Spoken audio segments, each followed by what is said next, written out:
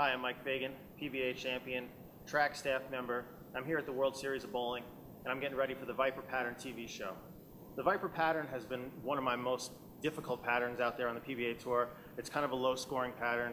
Uh, you can't really go too straight. You can't hook it too much. So it's kind of one of those in-between type of deals where I need to, you know, really be soft with my hand and make sure I get the ball to the spot at the right place.